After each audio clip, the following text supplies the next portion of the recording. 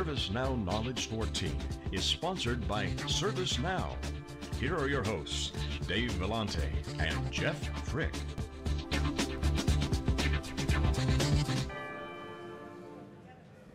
We're back. Sheila Jordan is here. She's the CIO of Symantec. We're live. This is theCUBE. We're at ServiceNow Knowledge 14 at Moscone in San Francisco. We're going to be here uh, today, uh, Wednesday, and most of Thursday, so stop by if you're at Moscone. Moscone South, come in, look to the right, the cube is there, stop by and say hello. Sheila, welcome to the cube. Thank you very much, excited to be here. Yeah, so you were across the street, I guess, at uh, the CIO event, right? Yes. What, what's, what's the vibe like over there? Describe it. Well, I would say there's probably about 300 or so CIOs, and it, and it really is fascinating because everyone's kind of discovering how important the cloud's becoming and how relevant the cloud's becoming in the, in the CIO world. It was, you know, years ago it was more about if the cloud's coming and now it's here, and it's a question of, CIOs are struggling with or answering the question is how does this really integrate with kind of on-prem solutions, so really it's making the cloud more and more real. You know, it's interesting, five years ago, if I asked a CIO about the cloud, you know, they would say, hey, it's another quiver in the, another arrow in the quiver, and you know, we're looking at it, et cetera, et cetera. Some might say, hey, we're not using the cloud, especially in financial services. But IT practitioners Right. would roll their eyes. Oh, the cloud, yeah, the cloud, it's IT. What do you mean the cloud, the cloud, the cloud? That seems to have Yes. changed. Yes. Uh, and and uh, uh, the, the practitioner base is, is more accepting Yes. of that notion of the cloud. What's changed? Well, I would say a couple of things. One is I think that when we used to kind of roll our eyes, we were very concerned about the security of the cloud, for sure. And I think with the cloud providers, we've seen lots of improvements in the security angle.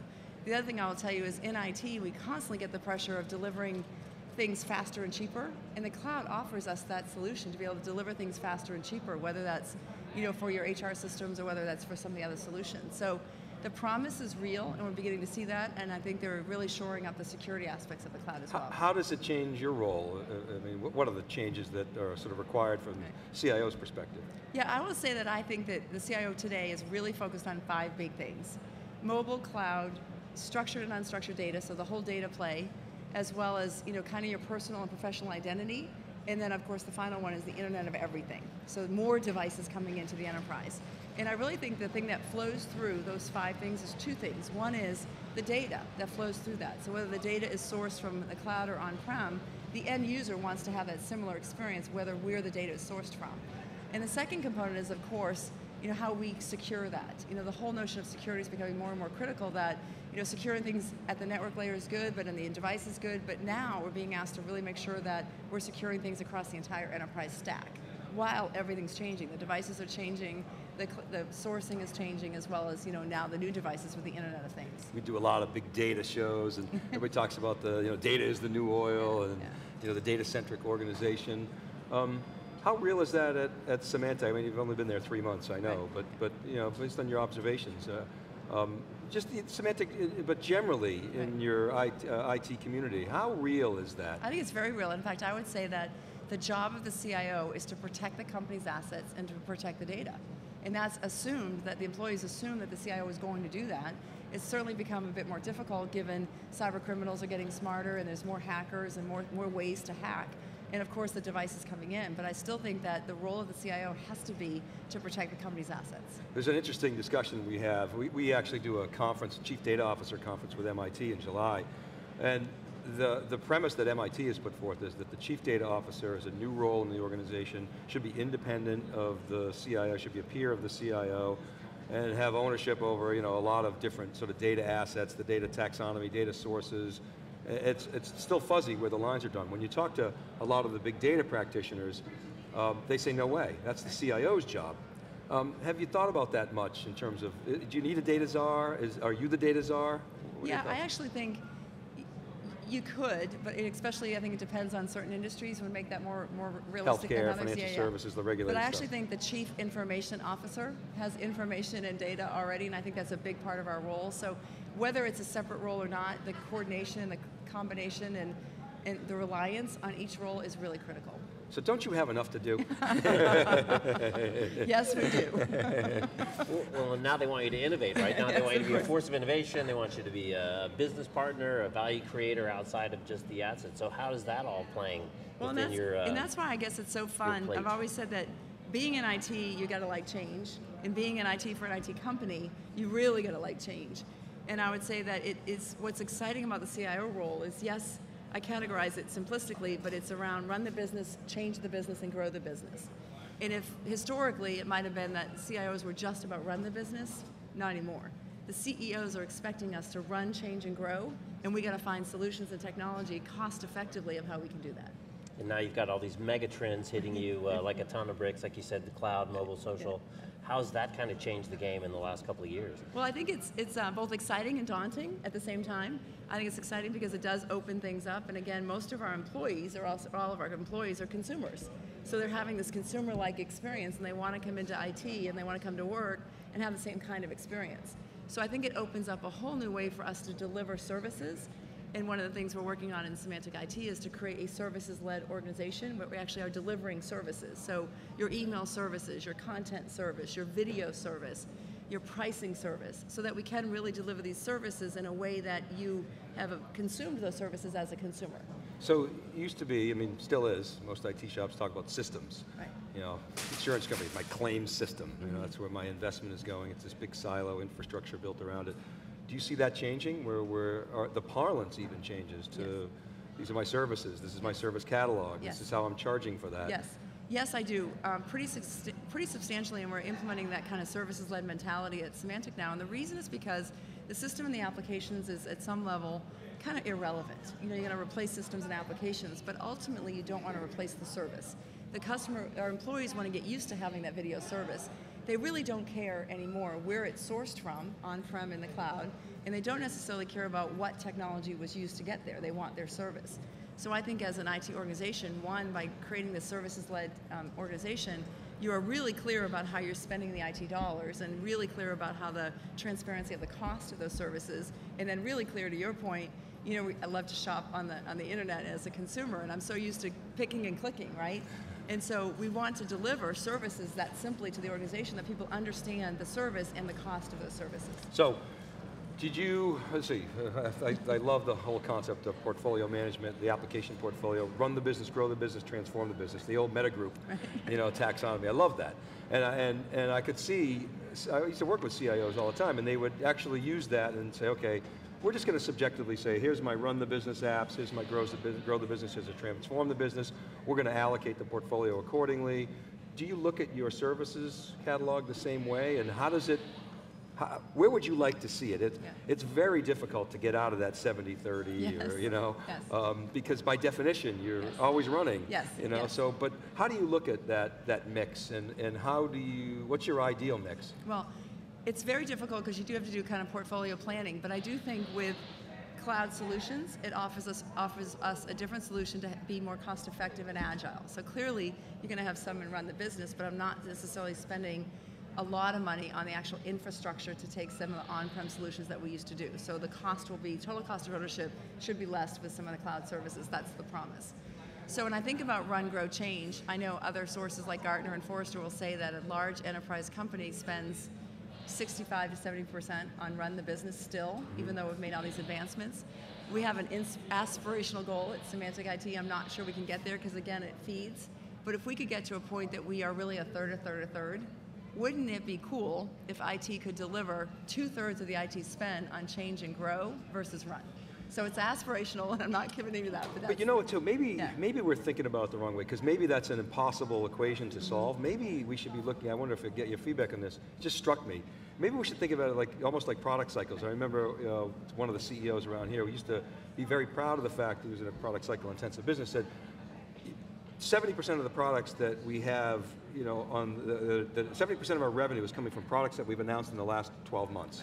Maybe that's how we should be looking at it, for, because by definition, they're going to be more modern, Right. more innovative, and with the services catalog approach, you, you may be able to do that. These are the services that we've launched in the last eh, X number of months. We can look at consumption. Do you think that's a, a, a reasonable I way think to it's look a, at an actually interesting way to look at it, and I would say that with some of the things that ServiceNow is actually introducing, you know, one of the things we want in IT is just visibility. What services are being used? If I had to rank them and rate them, ranking and rating, are they four stars, five stars? I mean, we want that visibility across the organization and delete, delete, delete the things that aren't effective and that aren't working. Sometimes in IT, we don't know that or see that.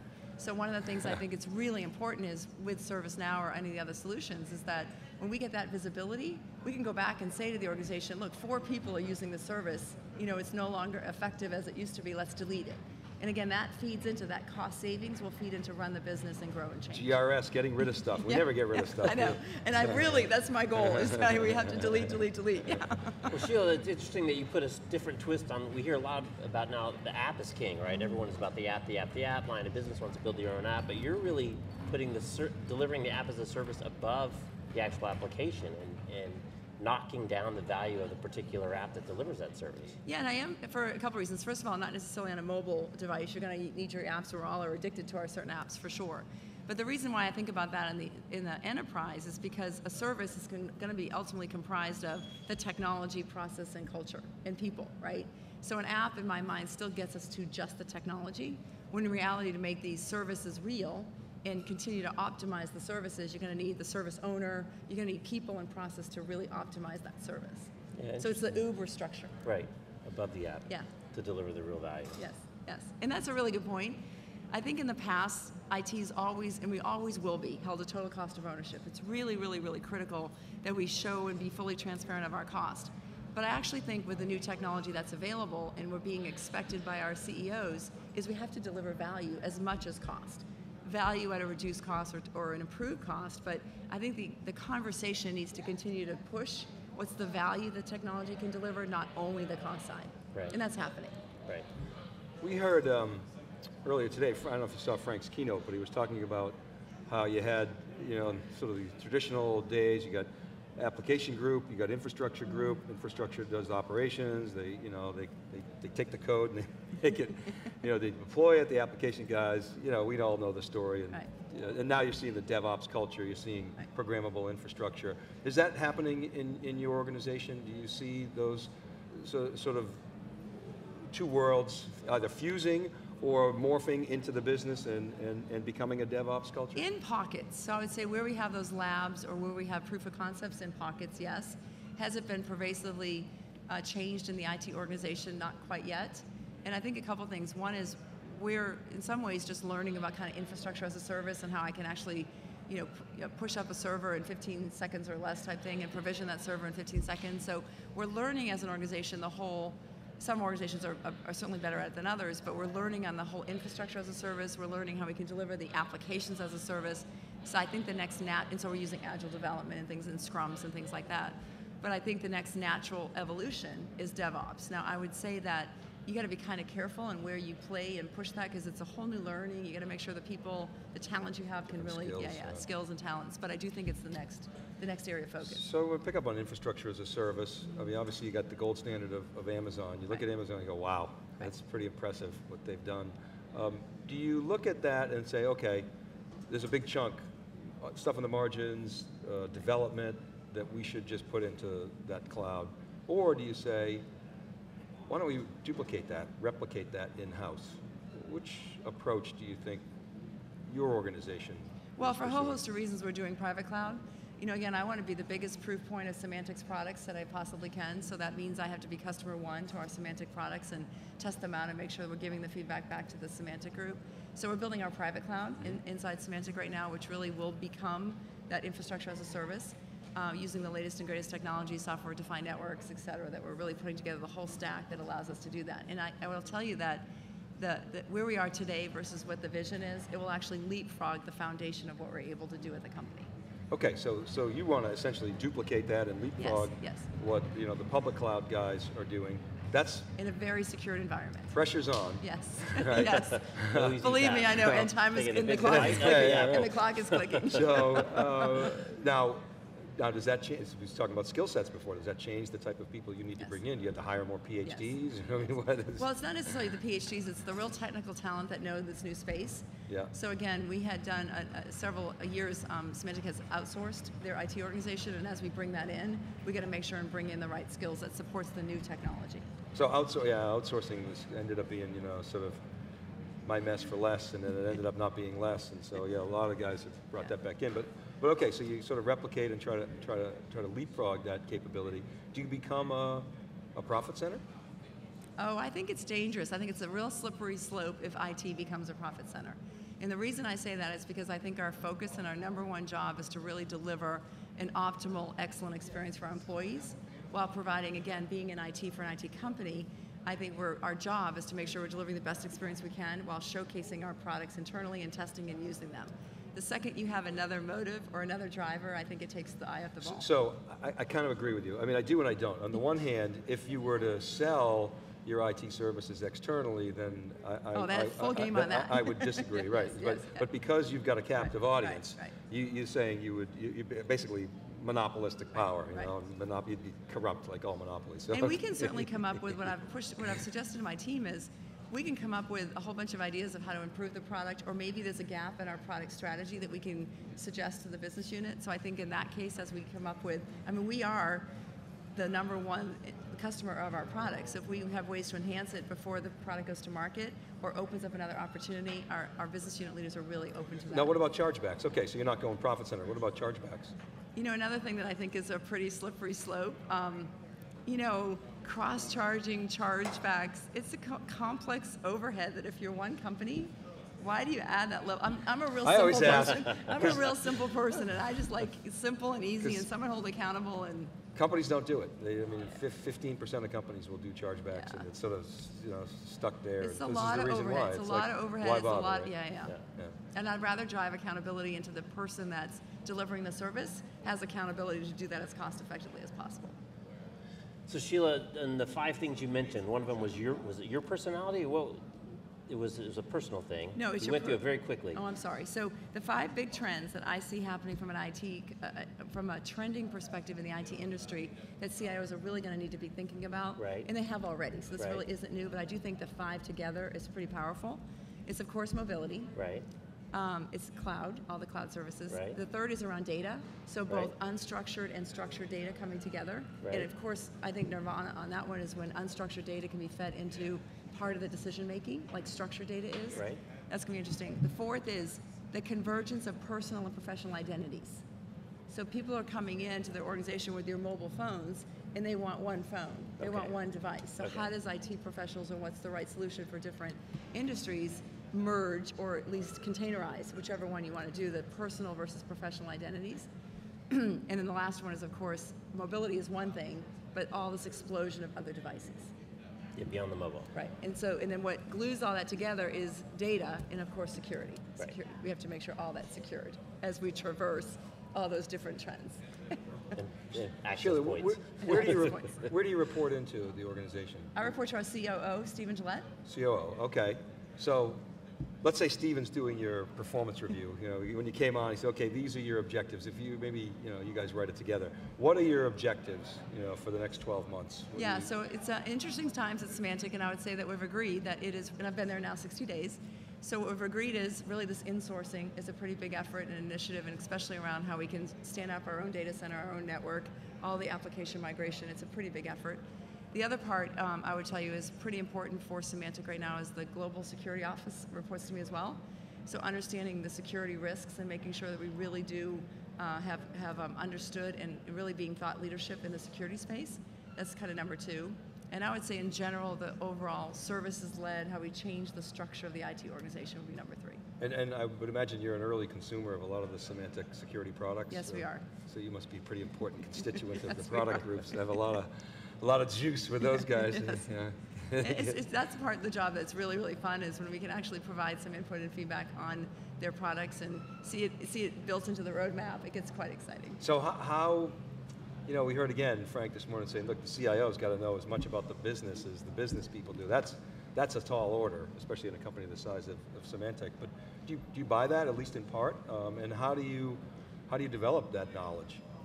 Well, I would say that, um, you know, first of all, yes, I buy into it. I really do think, and again, it goes back to being in IT for an IT company, being their customer. You have a you have a pretty big seat at the table, and I think it's really important that you're not only giving advice and counsel on, you know, the product strategy and where we think there could be potential gaps and where things could be improved, but you're also having to tell someone, you know what, that the product's old or we we don't want to use that anymore, or show some of the some of the um, inefficiencies in the product. So I think one is being absolutely tied to the product strategy and having a voice in the product strategy is really critical.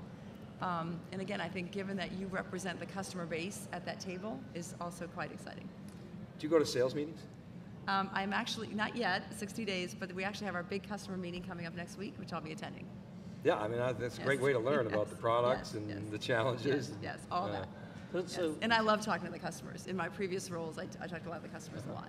so to talk about the the evolution of the of the role of the CIO in the not tech company, Mm-hmm. um, and and the the change of tech as a competitive differentiator in you worked at Disney uh, for years before Yeah. Cisco. I saw on LinkedIn.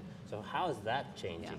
Well, I'd say actually it's kind of similar challenges. In being in IT for the um, tech company, you really are kind of tied to the product and being an instrumental influence in the product strategy. That's one. In a non-tech company, you are challenged with this whole notion, well, that's what I get as a consumer. So I still even think in a non-technology company, when they come to work and they have a less technical experience, in the, in the user experience is less than the way to get at home, I think consumers in general are just getting smarter and smarter and smarter about, I have that, that email storage, 10x that at home. Right. I have my mobile device that we're, you know, all these things that we're experiencing as consumers is coming into all the industries, and that expectation of I want to work differently is just, I think, in all companies. With no appreciation of what it means in the Of what background. It's even right. more just the magic, Yeah, which yeah, yeah. the Magic Kingdom is appropriate. So come back to the conversation we were having before. I mean, is the goal to, to really replicate that or just get good enough? You know, I think, you know, Microsoft, they always say software is good enough. They, they made a ton of money in the good enough business.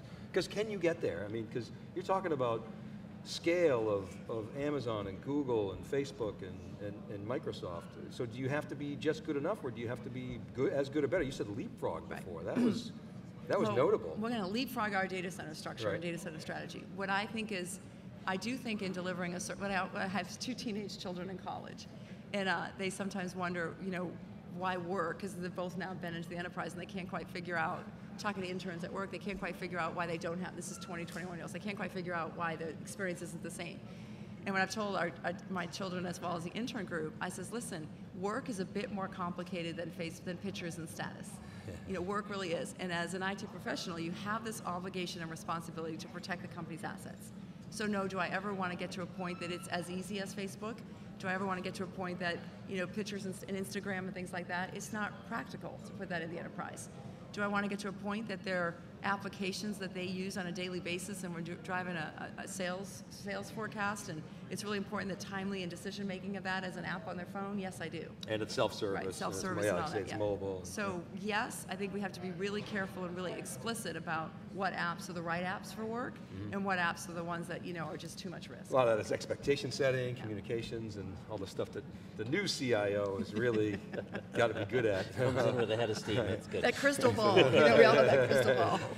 all right, Sheila, we got to leave it there. Thanks very much Thank for you. coming to the Thank you cube. very It's a much. Pleasure Thank you meeting very, you. Nice meeting you as well. Thank you very much. Thank you. All right, buddy, keep it right there. We'll be back to wrap up day one from ServiceNow Knowledge. We're live. This is theCUBE. We're right back.